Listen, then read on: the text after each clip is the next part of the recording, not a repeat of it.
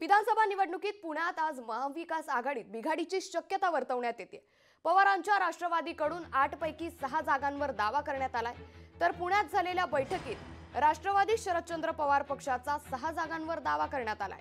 ठाकरेंची शिवसेना काँग्रेसची संघर्ष होण्याची शक्यता यामुळे वर्तवण्यात येते तर विधानसभा निवडणुकीत पुण्यात महाविकास आघाडीत बिघाडी होण्याची शक्यता आता वर्तवण्यात येते लोकशाही मराठी.